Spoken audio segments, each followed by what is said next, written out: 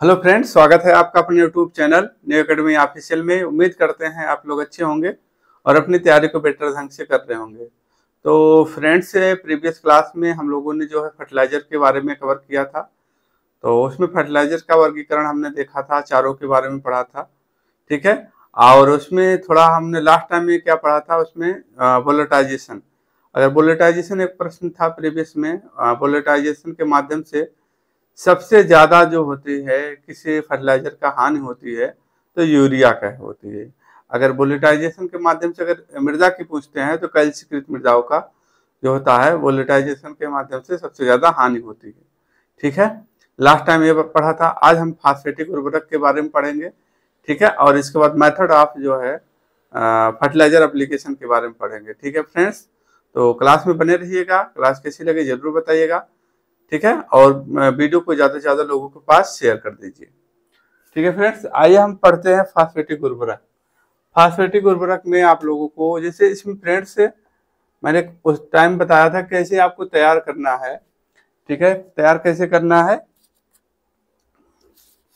तैयार ऐसे ही करना है, सबका जैसे कि पूछ लेता है कि जो होता है फास्फोरस की मात्रा डाई में कितनी होती है? ठीक है? एम में कितनी होती है? एम एफ़ बावन होती है। और डाई में कितना होता है? डाई में जो होता है छियालीस होती है। ठीक? जितना यूरिया में नाइट्रोजन की मात्रा होती है ठीक ये हो गया। तो ऐसे ऐसे करके जब आप बनाएँगे छोटे छोटे पार्टों में, ऐसे देखेंगे, आप अपने टेबल पर रखेंगे तो धीरे धीरे करके याद हो जाएगा। ज़रूरी नहीं है कि आप एक ही दिन में पूरा पढ़ो। नहीं, आप एक ही दिन में दो तो चार पढ़ लीजिएगा। जैसे कि नाइट्रोजन युक्त उर्वरक जो है, जैसे कि इसमें आपको कैल्शियम, अमोनियम नाइट्रेट पढ़ना है। अमोनियम सल्फेट में नाइट्रोजन की मात्रा पूछा जाता है। यूरिया निम्न लेपित में जो होता है, नाइट्रोजन की मात्रा कितनी होती है? ठीक है? सल्फ़र लेपित यूरिया में नाइट्रोजन की मात्रा कितनी होती है है? छियालीस से सैंतीस परसेंट होती है और छत्तीस से सैंतीस परसेंट होती है। नैनो यूरिया में में जो है नाइट्रोजन की परसेंट मात्रा कितनी होती है? चार परसेंट होती है। तो इसको परसेंट दोस्तों ऐसे धीरे धीरे करके याद करना है और परेशान नहीं होना। इसके बाद हमने जो चारों उर्वरकों के बारे में बताया है, चारों उर्वरक को कैसे याद रखना है, जैसे इसमें नाइट्रो, नाइट्रोजन जैसे है, नाइट्रोजन जिसमें पाया जाता है, वैसे उर्वरक। अमोनिकल उर्वरक ऐसे लिख लेना लिख लेना आप, और नाइट्रेट उर्वरक लिखना, और अमोनिकल नाइट्रेट लिखना है एमाइड लिखना है। एमाइड जो है, यूरिया किस फॉर्म में मिलता है? एमाइड फॉर्म में। ठीक है? हमने यूरिया में बताया था इम्पोर्टेंट चीज़ है, उसके छिड़काव के लिए कितना परसेंट उसमें छिड़काव करते हैं यूरिया के तो दो या दो से ढाई परसेंट छिड़काव करते हैं। ठीक है? ये चीज़ ध्यान रखना है। और खोज किसने किया था? फ्रेडरिच ने किया था। ठीक है? तो ऐसे ऐसे जब बनाएँगे, जैसे इसमें मैंने एक एग्ज़ाम्पल के तौर पर बनाया है, देखो जल में घुलनशील है। ठीक है? और इसकी प्रवृत्ति कैसी होती है? इसका नेचर कैसी होता है? अमली प्रवृत्ति के नेचर होता है। पौधों को आसानी से उपलब्ध होते हैं। सभी फ़सलों में इनका प्रयोग किया जाता है। किसमें नहीं किया जा सकता है? तो तंबाकू हुआ गन्ना हुआ टमाटर हुआ आलू हुआ चाय में इनका प्रयोग जो है अमोन के उर्वरक का प्रयोग नहीं किया जाता है। ऐसे जब आप यहाँ लिख लेंगे, ऐसे पूरा नोट्स से पढ़ेंगे, जब क्लास पढ़ेंगे तो वहाँ से आप नोट्स जब बनाएँगे तो धीरे धीरे करके ऐसी ऐसी चीज़ों को एक पेज में पूरा उर्वरक को रखेंगे। ठीक है? तो कहने का मतलब दो तीन पेज में आपको उर्वरक रख लेना है और दो तीन प्रश्न, दो प्रश्न तो यहाँ से बनेगा ही बनेगा इम्पोर्टेंट है। ठीक है फ्रेंड्स? तो आगे बढ़िया, चलते हैं हम। तो ऐसे करिएगा, देखिए, मेहनत करोगे तो तभी सिलेक्शन मिलेगा आपको। चौंतीस सौ लोग हो और मतलब चौंतीस सौ वैकेंसियाँ है, लोग जो है कम से कम चालीस हज़ार लोग हैं तो आप कुछ अलग तरीके से जब करेंगे तभी जो है आपकी आप सफलता के पास आएँगे, नहीं तो वैकेंसी का उसका एग्ज़ाम का डेट आते आते जो है आप लोग परेशान, इतने लोग परेशान हो जाओगे तो उसकी कोई कल्पना नहीं की जा सकती है तो इसलिए जो है आप क्या करेंगे, अभी से अपने पिनों से हाथ से जो है मेहनत कीजिए दिखावे पे पढ़ने की कोई आवश्यकता नहीं है। और प्रीवियस ईयर लगाते रहिएगा, जिसे जितना सिलेबस कवर हो गया है, उसको जो है प्रीवियस ईयर आप यूथ की आती है, उसको वहाँ से भी आप कर सकते हैं। प्रीवियस का कोई बुक नहीं होता है कि आप इस पे प्रीवियस का मतलब प्रीवियस क्वेश्चन का मतलब होता है क्वेश्चन होता है। तो एग्ज़ाम में जो आए हुए प्रश्नों को उन्हीं को करना है। कोई बुक हो आप, जो भी है प्रीवियस ईयर होना चाहिए। ठीक है? इसके बाद आइए हम फास्फेटिक उर्वरक की बात करते हैं। फास्फेटिक उर्वरक की जब बात करेंगे तो आपने चारों उर्वरकों के बारे में पढ़ लिया था। हम लोग, हमने बोलेटाइजेशन का पढ़ा था डीनाइट्रिफिकेशन का पढ़ा था नाइट्रिक पढ़ा था, ठीक है? तो बोलेटाइजेशन से सब सब, सबसे ज़्यादा हानि किस फर्टिलाइज़र की होती है? तो यूरिया की होती है। अगर मृदाओं की बात कर लेता है तो कैल्शिकृत मृदाओं की वोलेटाइजेशन के माध्यम से सबसे ज़्यादा हानि होती है। लास्ट टाइम हम लोगों ने वही पढ़ा था। आज का अपना टॉपिक है सॉइल जो फास्फेटिक उर्वरक और जो होता मेथड ऑफ़ फर्टिलाइज़र अप्लीकेशन ठीक है? फास्फेटिक उर्वरक पढ़ेंगे दो पर, दो रूप में पाया जाता है। पहला एक कार्बनिक फास्फोरस एक अकार्बनिक फास्फोरस पहला क्या है? कार्बनिक फास्फोरस दूसरा क्या है? अकार्बनिक फास्फोरस ठीक है? इसमें तीन आते हैं तीनों को पढ़ना है। इसमें जो है इसमें भी तीन आते हैं। प्राथमिक आर्थोफास्फोट द्वितीय आर्थोफास्फेट आर्थोफास्फेट, ठीक है? तो प्राथमिक और द्वितीय जो है तो पौधे पौधे हमेशा फास्फोरस इसी रूप में लेते हैं, अवशोषित करते हैं, ठीक है? H two P O four ठीक है? प्राथमिक आर्थोफास्फोट और H H P O four minus minus ठीक है? तो इस हिसाब से मृदा का पीएच कितना होता है? साढ़े सात, ठीक है? तो ये चीज़ है, आपको यहाँ से ध्यान रखना है। इसके बाद ये देखिए, प्राथमिक आर्थोफास्फोट देखिए, फर्टिलाइज़र में आपको जैसे कि बहुत इसमें समझाने वाली क्या बात है, ठीक है? तो आपको जैसे बताया, वो तरीका होना चाहिए। क्लास देखिएगा, ऐसे आपको तैयार हो जाएगा। प्राथमिक मतलब आर्थोफास्फोट ये मृदाओं अम्लीय मृदाओं में पाया जाता है, ठीक है? पीएच छः से छः, उदासीन प्रकृति ये जो होते हैं, जो तेक होता है, उदासीन मृदा में और ये जो होता है छा, छारी या भाषमिक मृदाओं में ठीक है? तो ये होगा अब फास्फेटिक उर्वरक का वर्गीकरण हम देखेंगे। इसी को पढ़ना है जैसे कि हमने अभी नाइट्रोजन नाइट्रोजन उर्वरक का वर्गीकरण किया था चार प्रकार के होते हैं। अब हमको पढ़ना फास्फेटिक उर्वरक का वर्गीकरण ठीक है? जल में घुलनशील सार्टिक अम्ल में घुलनशील जल तथा सार्टिक अम्ल में दोनों में घुलनशील। इनको पढ़ना है ठीक है? अब जल में घुलनशील की जब बात करते हैं इसको देखेंगे। ऐसे जहाँ हमने बताया है, ऐसे जब आप लिखेंगे तो ऐसे लिखेंगे तो आपका धीरे धीरे करके आपको तैयार हो जाएगा। फास्फेटिक उर्वरों का का वर्गीकरण, जल में घुलनशील कितने जल में घुलनशील को पढ़ना है, साइट्रिक अम्ल में घुलनशील को पढ़ना है, ठीक है? जल तथा साइट्रिक अम्ल में अघुलनशील, ठीक है? घुलनशील, सॉरी, बोल दिया था, अघुलनशील, ठीक है? अब इसमें देखिए जल में घुलनशील की जब बात करेंगे, इसमें क्या है? मोनोकैल्शियम फास्फेट पाया जाता है। जिसकी वजह से ये जो है, जल में घुलनशील होते हैं, ठीक है? इसमें क्या पाया जाता है? मोनोकैल्शियम फास्फेट पाया जाता है, जिसकी वजह से ये जो होते हैं, जल में घुलनशील होते हैं। इसको इम्पोर्टेंट ध्यान रखना है आपको। इसका प्रयोग जो होता है, कम अवधि वाले फ़सलों में किया जाता है जैसे आपको कम अवधि में आपका आ जाएगा, धान आ जाएगा। ये सब चीज़ें धान, गन्ना, धान, गेहूँ, जो आदि में किया जाता है, यानी कम में, कम ड्यूरेशन वाली फ़सलों में किया जाता है। इसकी प्रवृत्ति कैसे होता है? नेचर कैसी होता है? तो उदासीन नेचर की होते हैं ठीक है? उदासीन नेचर तथा भाषवी मृदाओं में इनका प्रयोग किया जाता है। सुपर फास्फेट जब रॉक फास्फेट प्लस सल्फ्यूरिक अम्ल से मिलकर बना होता है। सुपर फास्फेट किससे मिल, मिलकर बना होता है? रॉक फास्फेट और सल्फ्यूरिक अम्ल से मिलकर बना होता है। अब इसके एग्ज़ाम्पल देख लेते हैं। एग्ज़ाम्पल तो पूछा जाएगा। सिंगल सुपर फास्फेट फेट की S S P single super phosphate की जब बात करेगा, इसमें नाइट्रोजन, इसमें जो होता है फास्फोरस की मात्रा कितनी होती है? सोलह परसेंट और बारह परसेंट सल्फ़र, उन्नीस परसेंट कैल्शियम। राग फास्फेट देख रहे हैं। राग फास्फेट में जिप्सन ए सूत्र आपको याद रखना है, पचास परसेंट। और इसके बाद M C P monocalcium monocalcium phosphate, di calcium phosphate, tri calcium phosphate. ठीक है? ये आपको ध्यान रखना है। अब दूसरा एग्ज़ाम्पल पे आते हैं डबल सुपर फास्फेट ठीक है? इसमें मात्रा डबल देखे डबल हो गया ट्रिपल हो गया ठीक है? डबल सुपर फास्फेट की जब बात करेगा, इसमें जो है, नाइट्रो फास्फोरस की मात्रा कितनी होती है? बत्तीस परसेंट। ट्रिपल में सुपर फास्फेट में अड़तालीस परसेंट, ठीक है? और डाई में नाइट्रोजन की मात्रा अठारह परसेंट फास्फोरस की मात्रा छियालीस परसेंट।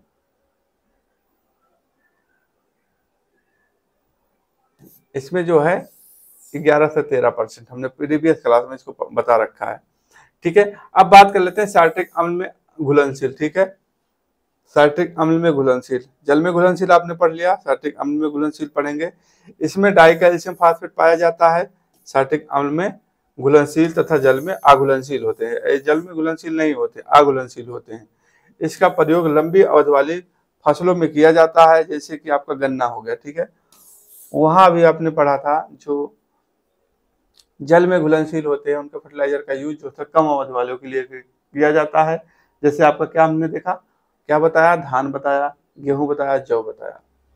इसका प्रयोग जो होता है सैटिक अम्ल में घुलनशील का प्रयोग जो होता है आ, कम आ, आ, लंबी अवधि वाली फ़सलों में किया जाता है जैसे आपका गन्ना हो गया। इसका प्रयोग अम्लीय मृदाओं में किया जाता है उसका प्रयोग किसमें देखा था? वास्मिक मृदाओं में देखा था। ठीक है? बेसिक सीरीज़ जो होता चौदह से अठारह परसेंट। तीसरा आप आ जाएँगे हम तीसरा जो होता है फास्फोरिक फास्फेटिक उर्वरक का वर्गीकरण जो तीसरा है, इसमें पढ़ेंगे। देखिए, जल जल तथा सार्टिक अम्ल में आघुलनशील को पढ़ना है, ठीक है? आघुलनशील। इसको घुलनशील, आघुलनशील, इसको ध्यान रखिएगा आघुलनशील, जैसे ट्राई कैल्शियम फास्फेट इसमें पाया जाता है, ठीक है? इसका प्रयोग जो होता है, बागवानी फ़सलों, यानी कि प्लांटेशन क्रॉप में करते हैं। जैसे कि आपका चाय हो गया, काफ़ी हो गया, रबड़ हो गया, इनमें जो होता किया जाता है, ठीक है? अब तीनों आपने देखा, जल में घुलनशील, कम अवधि वालों में किया जाता है, ठीक है? जैसे कि आपका धान हो गया, गन्ना हो गया और चौ हो गया, ठीक है? और इसके बाद आपने देखा साइट्रिक अम्ल में घुलनशील साइट्रिक अम्ल में घुलनशील आपने उसमें देखा? लंबे अवधि वालों के लिए भास्मिक नेचर के होते हैं, ठीक है? लंबे अवधि वालों में जैसे आप कहा जाता है गन्ना, गन्ने में यूज़ करते हैं। ये आ जाता है जल तथा साइट्रिक अम्ल में अघुलनशील ठीक है? यानी कि ना तो वो जल में घुलनशील है, ना ना तो साइट्रिक अम्ल में घुलनशील है, ठीक है? उनका प्रयोग, इनका प्रयोग जो होता, कहाँ किया जाता है? बागवानी फ़सलों में किया जाता है, प्लांटेशन क्रॉप में किया जाता है, ठीक है? जैसे कि आपका चाय हो गया, कॉफ़ी हो गया, रबड़ हो गया, ये ध्यान रखना है। इनका प्रयोग बहुत अम्ली मृदा हाईली एसिड सॉइल में किया जाता है, ठीक है? जैसे कि आपका आ जाता है एग्ज़ाम्पल रॉक फास्फेट 20 से 40 परसेंट कच्चा अस्तचूर रॉ बोन मिल 20 से 25 परसेंट फास्फेट पाया जाता है। अस्तचूर में सी मिल बोन मिल में 30 से 25 से 30 परसेंट पाया जाता है। ठीक है? ये चीज़ आपको यहाँ से ध्यान रखना है। इसके बाद जब हम बात करते हैं आपका आ, कुछ और इम्पोर्टेंट पॉइंट है इसको ध्यान रखिएगा। जैसे कि जल में जल में घुलनशील फास्फेटिक उर्वरकों का प्रयोग बुआई के समय किया जाता है, ठीक है? जबकि सार्टिक अम्ल में घुलनशील बुआई के 20 से, यानी कि 15 से 30 दिन में करते हैं, ठीक है? जल तथा सार्टिक अम्ल में अघुलनशील उर्वरकों का प्रयोग बुआई से दो महीना पहले करते हैं, ठीक है? यानी कि खेत प्रिपरेशन के समय करते हैं, या पहले करते हैं, ठीक है? अब इसके बाद आते हैं, हम पढ़ते हैं पोटास उर्वरक। पोटास उर्वरक की जब बात करते हैं, ये भारत में प्रिंट नहीं पाया जाता, टोटली जो होता है इसका आयात किया जाता है, यानी कि मंगाया जाता है। ठीक है? पोटेशियम क्लोराइड या म्यूरेट ऑफ़ पोटास ठीक है? ये है, इसमें परसेंट की मात्रा कितना है? जो होता है पोटास की मात्रा कितनी है? साठ परसेंट पोटास पाया जाता है। इनकी प्रकृति कितनी, कैसी होती है? उदासीन प्रकृति होते हैं। ठीक है? अब जिप्सन भी है, इसको भी आप यहाँ से ध्यान रखिएगा। जिप्सन की जब बात करेंगे जिप्सन की बात करेंगे कैल्शियम इसमें मात्रा कितनी पाई जाती है? उनतीस दशमलव दो परसेंट। सोलह दशमलव छह परसेंट सल्फ़र पाया जाता है। अब एक कन्वर्जन फार्मूला है तो कन्वर्जन फार्मूला भी आप इसी तरीके से याद रखेंगे। जैसे कि इसका पूछ लेगा तो दो दशमलव नौ। इसी तरीके से इसको जो है फास्फोरस का जो होता है, इसी तरीके से आप ज्ञात करेंगे। ठीक है? आगे बढ़ते हैं हम।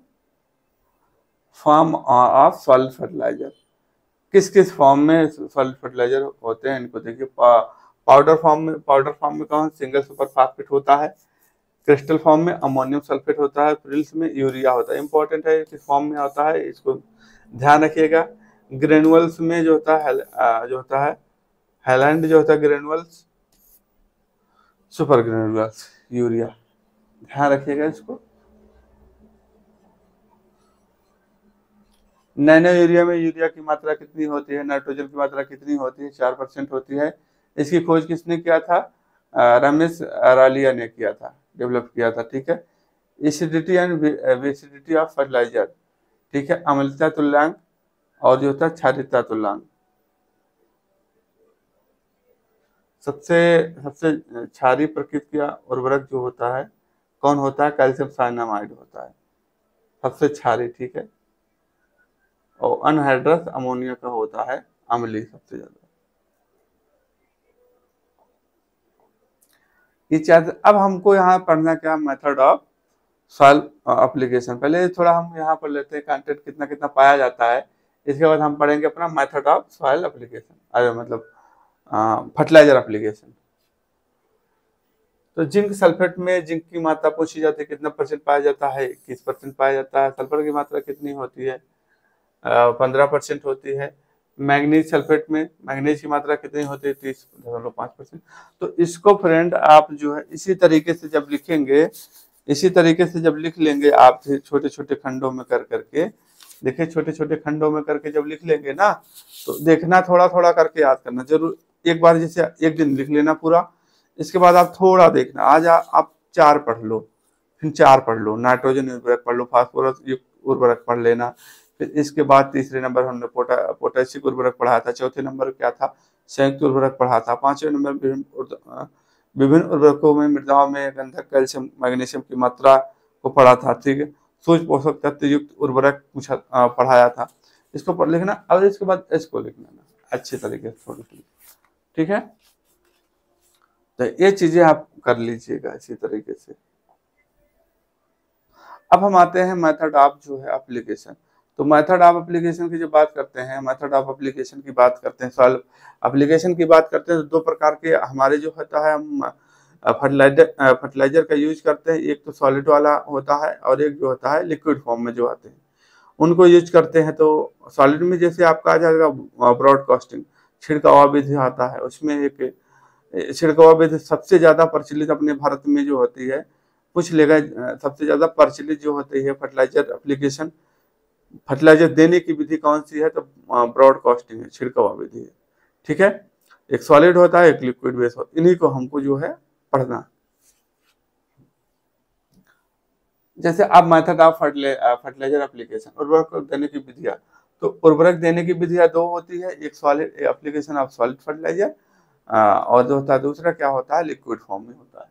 ठीक है? दो प्रकार से होता है, एक application of soil fertiliser application of liquid fertiliser application of soil fertiliser को पढ़ना है। अब इसमें क्या करना है? आपको ठोस उर्वरक होगा ठीक है? इसको पढ़ना है आपको। ठीक है? एप्लीकेशन ऑफ़ सॉइल फर्टिलाइज़र ठोस उर्वरकों का उपयोग।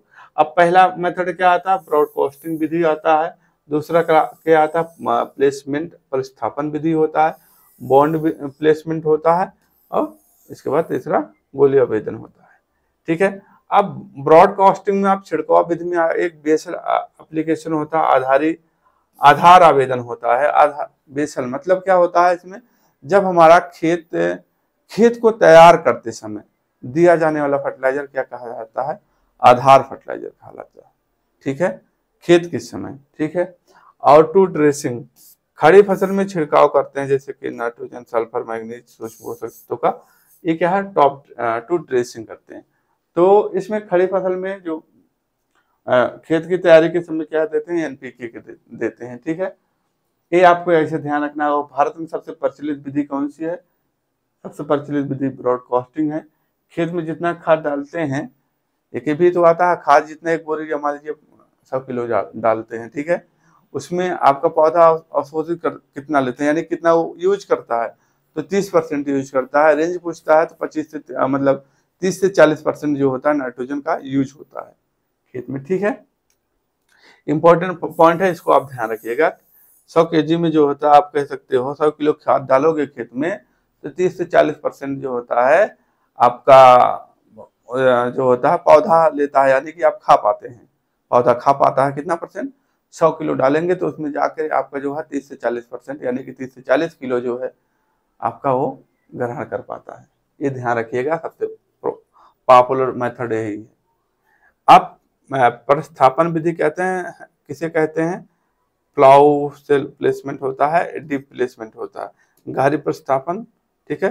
तो ये जो होता है, धान के धान के लिए फर्टिलाइज़र लोकलाइट प्लेसमेंट होता है, स्थानीय प्रतिस्थापन जैसे करते हैं। बॉन्ड प्लेसमेंट क्या होता है? एक हिल प्लेसमेंट होता है। फल वृक्ष के देते हैं जैसे कि वृक्ष हो गया इसके आर्य देते हैं ठीक है? रो प्लेसमेंट आप तो जानते हैं रो रो में देते हैं। इसमें जैसे कि क्रॉप कौन कौन से आते हैं इनको इस विधि से देते हैं किनको किनको?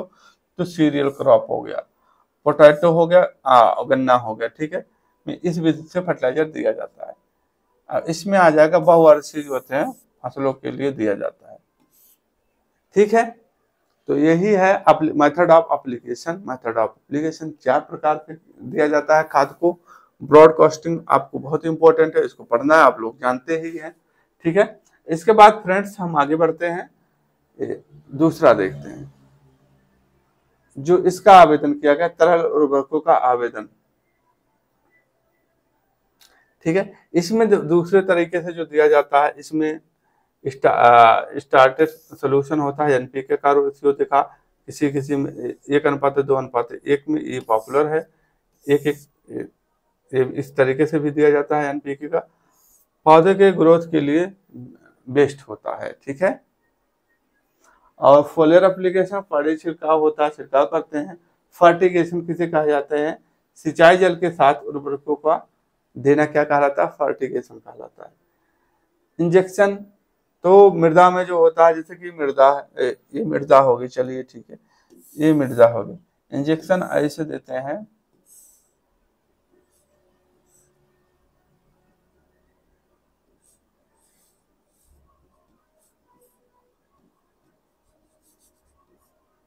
इंजेक्शन देते हैं ऐसे तरीके से देते हैं। मृदा में ये बहुत कम इसको यूज़ करते हैं। वही करते हैं, ठीक है?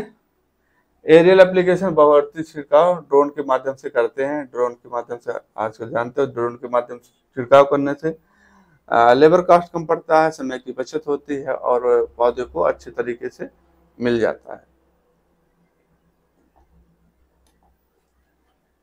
इतना था आप लोगों को। अब ये एक चीज़, ये भी देखना है फोलियर एप्लीकेशन जैसे करते हैं न्यूट्रिएंट हो गया सोर्स हो गया। फोलियर एप्लीकेशन के जी प्रोडक्ट। ठीक है? तो इसमें जैसे कि बोरान हो गया, ठीक है? एक बता देते हैं, इसमें बोरान हो गया। जैसे आपको इसमें ध्यान रखना है, जैसे बोरान होगा सोच का बोरॉक्स के रूप में पाए जाते हैं। दो से पाँच के जी प्रति हेक्टेयर अप्लाई करते हैं। कॉपर जो होता है, कॉपर सल्फेट, इसमें दो से पच्चीस, दो से पाँच के जी प्रति हेक्टेयर। ठीक है? आयरन हो गया, दो से पाँच, दो से तीन, दो से चार मैग्नीज हो गया, मोलिबेटनम हो गया, ज़ीरो दशमलव दो दो पाँच से ज़ीरो दशमलव पाँच ज़ीरो से तक जिंक जिंक सल्फेट दो से चार, दो से चार के जी प्रति हेक्टेयर ठीक है? कैल्शियम कैल्शियम क्लोराइड के रूप में पाँच से दस के जी प्रति हेक्टेयर सबसे ज़्यादा। मतलब अभी तक मैग्नीज मैग्नीज, मैग्नीशियम सल्फेट पाँच दस से पंद्रह के जी प्रति हेक्टेयर ठीक है? तो अब इसके बाद भारत में एनपीके के आवेदन का अनुपात क्या होता है कैसे किस अनुपात में होते हैं ये क्वेश्चन बनते हैं तो इसको ध्यान रखना है आपको एनपीके का रेशियो एवरेज की बात कर लेगा एवरेज पूछा जाता है तो चार अनुपात दो अनुपात एक सीरियल की बात करता है चार अनुपात दो अनुपात एक पल्स की जब बात करेगा एक अनुपात दो अनुपात एक या एक अनुपात दो अनुपात दो ठीक है ये पॉपुलर है ऑल सीट की बात कर लेंगे तीन अनुपात दो अनुपात एक और फोल्डर वाले फोल्डर वाले यानी कि चारे वाली फ़सलों की बात करेंगे, दो अनुपात है, एक अनुपात है चार के अनुपात पे। एनपीके के बाद एनपीके के बाद ऑयल सबसे ज़्यादा तो एनपीके की बात करें, इसमें किसको दिया जाता है? नाइट्रोजन को दिया जाता है एन को दिया जाता है। तो उनके बाद जो होता है क्रॉप के लिए सबसे ज़्यादा मुख्य न्यूट्रिएंट कौन सा होता है? सल्फ़र होता है, क्योंकि सल्फ़र देने से तेल की मात्रा बढ़ती है, ठीक है? बहुत इंपॉर्टेंट है क्वेश्चन बना हुआ है। सल्फ़र जो होता है, क्या क्या करता है, सल्फ़र से इसमें क्या होती है, तेल की मात्रा बढ़ जाती है। ठीक है, जैसे कि पेपरमेंट में जो है हम लास्ट टाइम यूज़ करते हैं। ठीक है? तो ये चीज़ें था, आप लोगों को इतना ध्यान रखना है। अब इसके बाद हमें जो है, पढ़ेंगे हम लोग, दूसरा कुछ पढ़ेंगे, अगला टॉपिक खाद को पढ़ेंगे। ठीक है? तो आज की क्लास हम यहीं तक रखते हैं। और मेहनत कीजिए, मेहनत किस, मेहनत ही एक जो है, सफलता की कुंजी होती है तो मेहनत कीजिए आराम से और अपना ख्याल रखिए, अपने माता पिता का ख्याल रखिए।